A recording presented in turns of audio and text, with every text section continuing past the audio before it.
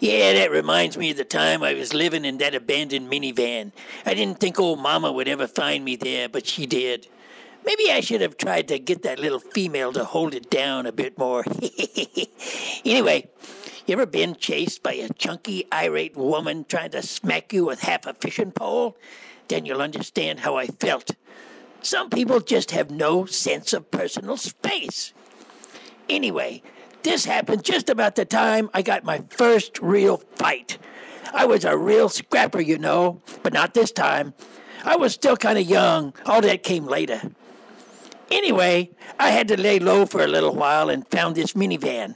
It was next to this stinky mobile home. The only problem was old mama lived there and she didn't like me. I, I don't know why not. It's not like I was the one who broke the back window out. But anyway, that was a nice little spot.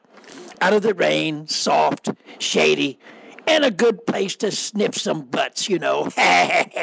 oh man, the sniffs I had in that minivan. Brother, those were good times. Well, except for that stuff with the fishing pole. I could have done without that.